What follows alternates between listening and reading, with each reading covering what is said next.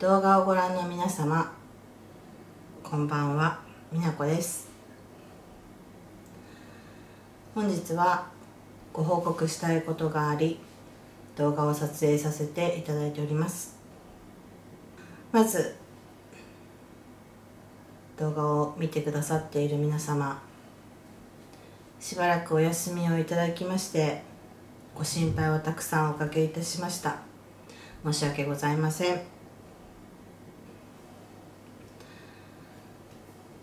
ネットや週刊誌でご存知の方もいらっしゃると思うのですが記事については全て事実です。現在私は以前住んでいた場所から引っ越しをし新居で子供たちと暮らしております。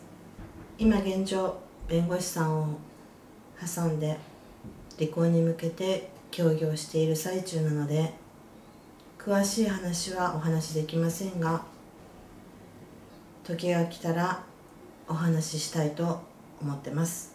今後は、えー、私と子供たちとで毎日楽しく笑っていられるような